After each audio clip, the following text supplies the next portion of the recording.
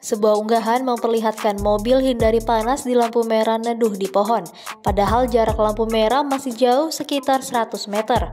Akibatnya jalanan menjadi macet, padahal di depan tidak ada mobil lain. Hal ini lantas membuat pengendara sepeda motor yang ingin mendahuluinya menjadi ngomel. Video ini viral setelah dibagikan akun Instagram Indocar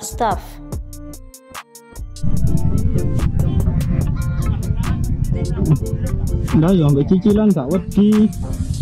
Ông về thuê bán là cả vật chi. Ý cô lô có song nhà đấy mà chết rồi